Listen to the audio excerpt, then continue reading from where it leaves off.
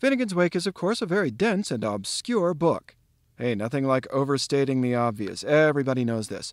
But something you might not know is that Finnegans Wake varies in its density depending on where in the book you happen to be reading. The closer to the center you are, the more obfuscated and challenging the material becomes, and as you travel to the book's outer edges, the material becomes more and more accessible.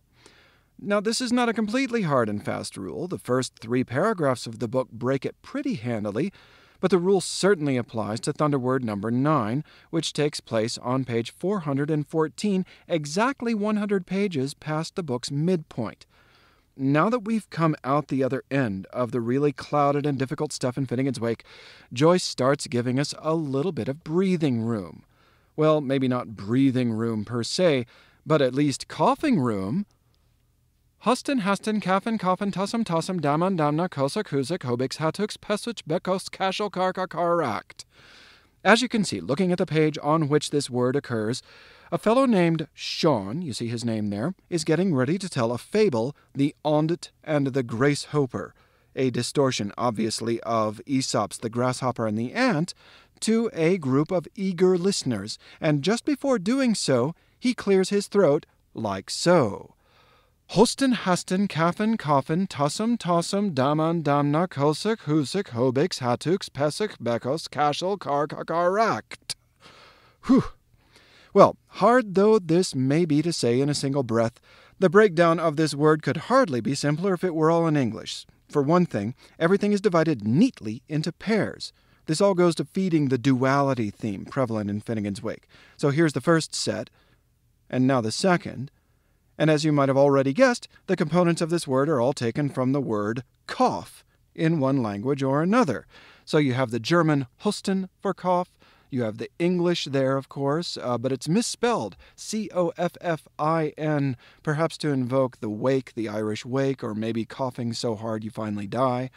Uh, the Latin tussum is there, uh, along with the Italian and Portuguese, which are, of course, derived from the Latin with tossa.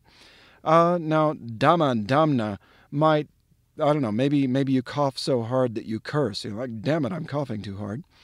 The Irish is there as well, na kasachta, which means of the cough. Now, personally, I don't think I've ever had call to either use or hear someone else use of the cough in a sentence, but if you ever need to do so in the Irish tongue, there it is.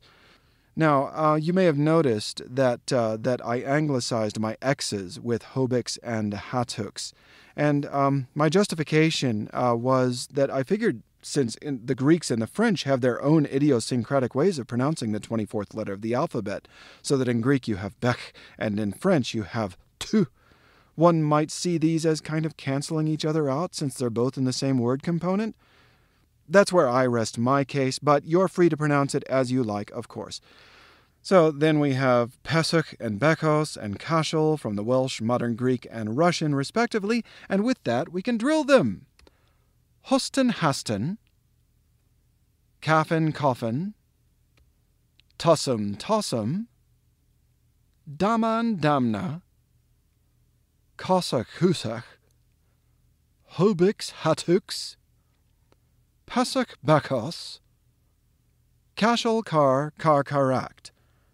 And since this last word component is six syllables and can kind of trip you up as a result, after all, the others count out nice and clean with four trochaic syllables apiece, a good way to practice this is by dividing it into a pair of amphimacers or cretics, just as the others are all divided into pairs of trochees, so that you have Kashal Kar correct. It's a good place to start when you're practicing, at least.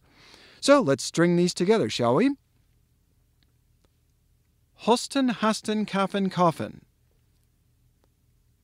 Tossum, tossum, daman, damna.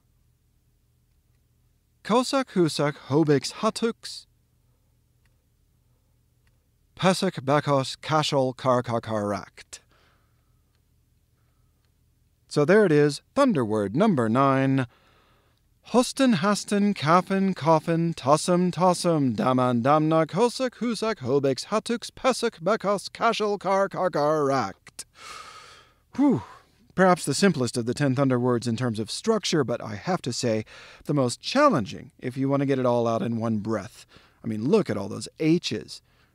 You know, not to mention the S's and the F's and all the aspirated consonants in general that are packed into this word.